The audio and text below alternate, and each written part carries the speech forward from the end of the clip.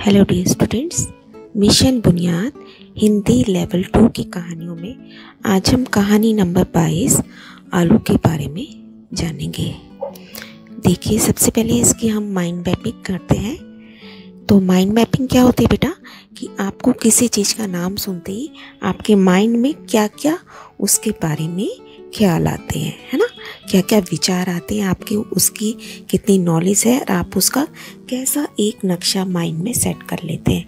तो जैसे ये आलू है हमारे पास तो क्या क्या बातें हमें पता है कि इसे सब्जियों का राजा कहते हैं।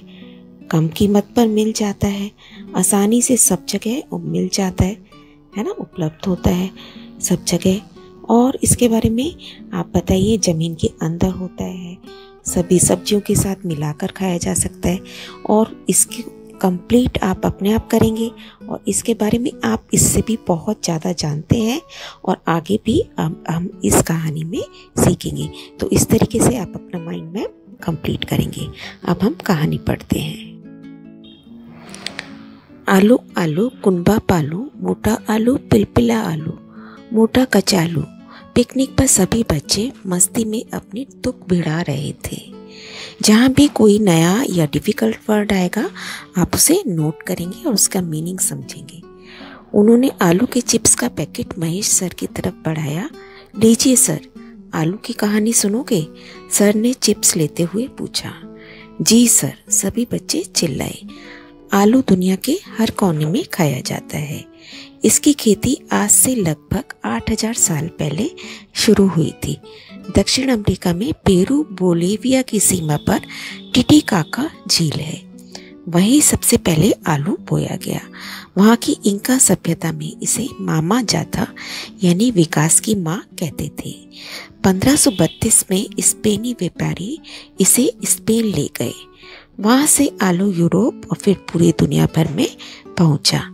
सबसे ज़्यादा आलू की पैदावार चीन, रूस और भारत में होती है। भारत में आलू उत्तर प्रदेश, बिहार और उड़ीसा में अधिक होता है। सर ने आलू के बारे में विस्तार से बताया। क्या चकाचक नाम है? कहकर बच्चे खिलखिलाकर हंस पड़े। आलू का पौधा ज़मीन के ऊपर होता है, पर इसका जो भाग हम खाते हैं, वह ज़मीन के अंत से खोदकर निकाला जाता है। एक पौधे में 20 आलू तक निकल आते हैं। कहते हैं अधिक आलू खाने से मोटापा आता है, लेकिन ऐसी बात नहीं है। मोटापा इसे तेल में तलने के कारण होता है। उबला और भुना आलू खाने से नहीं। देखिए, हम भी अभी तक यही सोचते हैं ना कि ज़्यादा आलू खाएँगे तो ज़्यादा मोटापा आता है। पर उसका क्या लॉजिक है बेटा?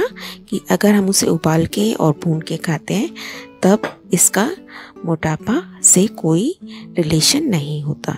इसे हम जब घी में तल के, तेल में तल के, पकौड़ी बना के, है ना तब खाते हैं, तब वो चीज़ हमें नुकसान देती है। आलू में बहुत सारे गुण हैं। आलू में 80 प्रतिशत पानी और 20 प्रतिशत सूखा भाग होता है। सूखे भाग में 60 से 80 प्रतिशत तक स्टार्च होता है, जो कि हमारे शरीर को ताकत देता है।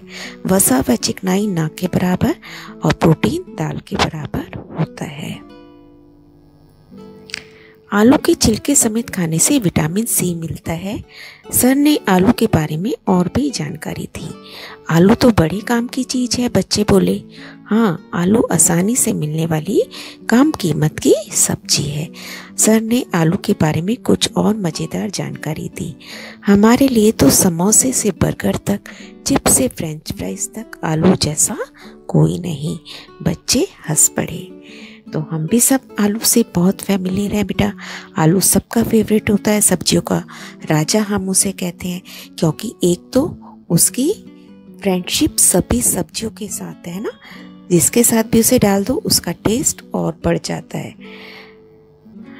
अब हम इसके ऊपर बेस्ड बेटा क्वेश्चन सॉल्व करेंगे। प्रश्न वन, आलू को इनका सभ्यता में क्या कहा जाता था? तो अभी हमने सीखा आलू को इनका सभ्यता में मामा जाता, यानी विकास की माँ कहा जाता था। दूसरा क्वेश्चन आलू की खेती सबसे पहले कहाँ और कब शुरू हुई? तो आलू की खेती सबसे पहले दक्षिण अमेरिका में पेरू, बोलीविया की सीमा पर टिटिकाका झील है, जहाँ पर लगभग 8000 साल पहले आलू को सबसे पहले बोया गया था। प्रश्न नंबर तीन, इस पाठ में आलू की किस किस विशेषता के बारे में बताया गया है? तो बहुत सी बातें हमने सीखी हैं। आलू में 80 प्रतिशत पानी और 20 प्रतिशत सूखा भाग होता है। सूखे भाग में 60 से 80 प्रतिशत तक स्टार्च होता है, जो कि हमारे शरीर को ताकत देता है। इसमें वसा, चिकनाई ना के बराबर और प्रोटीन, दाल के बराबर होता है। आलू को छिलके समेत खाने पर विटामिन सी प्राप्त होता है। प्रश्न चार आलू की पैदावार सबसे ज़्यादा किन देशों में होती है? तो सबसे ज़्यादा चीन, रूस और भारत में होती है। इस पाठ से आपको जो जानकारियाँ मिली हैं, उन्हें क्रमानुसार लिखिए। तो हमें बहुत सी बातें इस पाठ से पता चली हैं बेटा। सबसे पहले, आलू आसानी से मिलने वाली सब्ज़ी है। आलू कम कीमत की सब्ज़ी है। आलू का प्रयोग अधिकतर सब्ज़ियाँ बनाने में किया जाता है। आलू हमारे शरीर को ताकत देता है। आलू को छिलके सहित खाने से विटामिन सी प्राप्त होता है। आप भी इसके साथ और बातें नोट करेंगे, जिस, जो कि हमने इस पाठ में सीखी है।